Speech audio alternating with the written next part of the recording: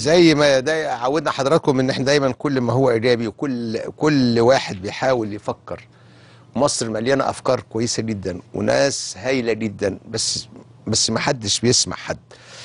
النهارده أنا معايا بطلنا هنا هنا الأستاذ أحمد منير يوسف. هو طبعا عشان ما فيش استوديو كان المفروض أستضيفه إنما إحنا عملنا تقرير معاه. الأستاذ أحمد منير يوسف ده كان هو بيعمل فني ح- حدادة في تشغيل معادن خريج آه، آه، صنايع آه، سنة 89 جات له فكرة من سنتين إنه يعمل مكنة آه، اللي اللي تغسل السجاد.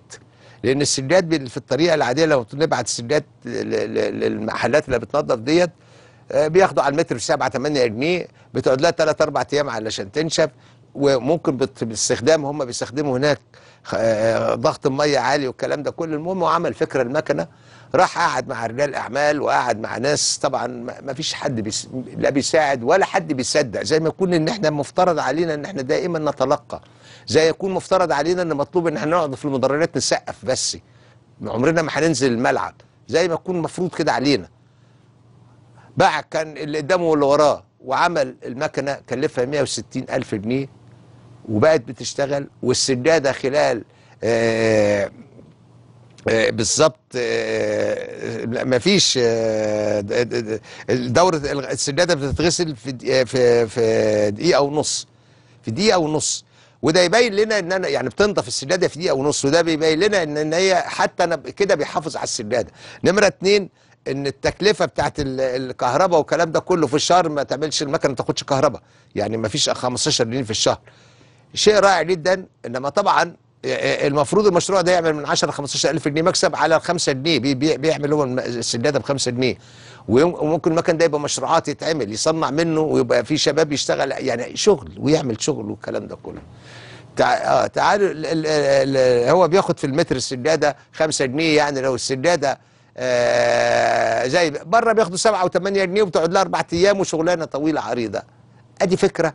والراجل حو... مجرد يكفي إن إحنا الاحترام ليه إنه عنده فكرة بيؤمن بيها وإنه يصر إنه ينفذها ويعملها. ده شيء في حد ذاته هايل. عندنا من الأفكار اللي زي دي كتير.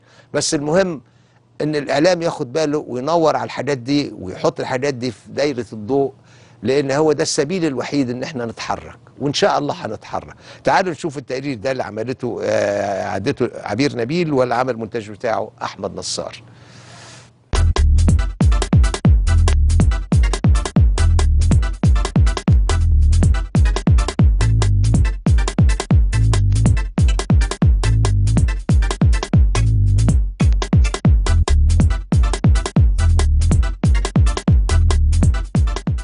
فكرة بسيطة توصل ليها مواطن مصري مكافح. الفكرة من سنتين آه، جات لي آه، البنت ال- البنت اللي واقفه ديت بتغسل سجاد على إيدها. بتغسل سجاد بيتنا على إيدها. سألت كل الغسيل اللي موجود بنزيمة. ضغط البنزيمة بيبوظ الوبره بتاع السجاد. تمام. فمن هنا فكرت إن أنا أعمل فرش دوارة حركة دائرية إن هي تحافظ على ال- الوبره وتديني إنتاج أسرع. وما تستهلكش كمية مية. الفكرة جت من هنا فبدأت أشتغل عليها بالرسومات وفي الآخر بالتشغيل.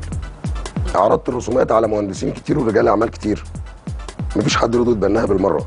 على اعتبار إن هي مكنة مجهولة ملهاش وجود في البلد. بدأت أنا أشتغل فيها. تمام؟ المكنة آه، متكونة من مواتير الكهرباء اللي فيها ثلاث مواتير إجمالي. فيها أربع فرش عرضهم بيديني 3 متر وربع.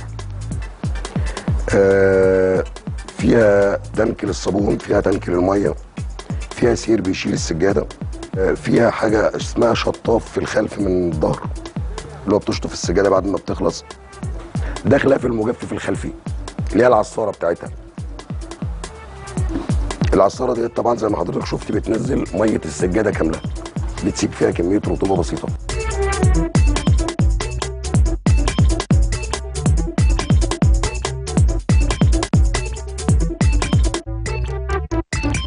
قد تكون تجربة بسيطة في عالم الصناعة لكنها شهادة احترام لمواطن بسيط يفكر ويعمل على أرض الواقع. هنا السجادة الستة متر بتاخد ست صفايح مية يعني ربع المتر. الشغل بضغط مسدس البنزيمه متر السجاد بيصرف متر مية. أنا عندي زي ما حضرتك شايفة المية اللي بتنزل من المكنة بستخدمها تاني بستخدمها في تخمير السجاد. يعني السجاده بتيجي تترمي في ال- في الحوض وبت- والمفروض إن أنا بسحبها من الحوض للمكنة. فبتبقى متشبعة بالمية. بتوفر برضو معايا من الست صفائح الأولانيين. ما يقرب من صفحتين صفحتين ونص. وكما يقول المثل الحاجة أم الاختراع. فهناك اختراعات مذهلة تخدم البشرية. خرجت للحياة بعد أن فكر فيها طويلا الإنسان. وإنجازها فائدة للبشرية والإنسانية. أنا خلصت الرسومات بتاعتي ولما مفيش حد اتبناها بدأت أنا أتعامل معاه بدأت أنا أشتري خامات واصنع ففي تجارب خدت معايا من سنة ونص لسنتين بالظبط تشغيل فيها. آه إجمالي التكلفة بتاعتها لغاية النهارده صرف معايا 160 ألف. لكن الوحده اللي بعد كده ما توصلش معايا ل 110 لأنه طبعا كان في في التجارب المبدئية خسائر في الخامات أنا اللي بخسرها عشان أوصل للوضع اللي أنا وصلت له. والنهاردة بعد التشغيل أصبح عندي رسومات جديدة توفر معايا في التكلفة وتديني كفاءة أشد. كل المفروض مرفوض. اثبت للعالم إنك موجود موجود.